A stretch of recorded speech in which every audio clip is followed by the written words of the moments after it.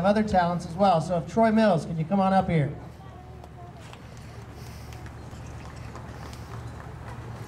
We're going to sing our national anthem today. Mustang Brewer, Troy Mills.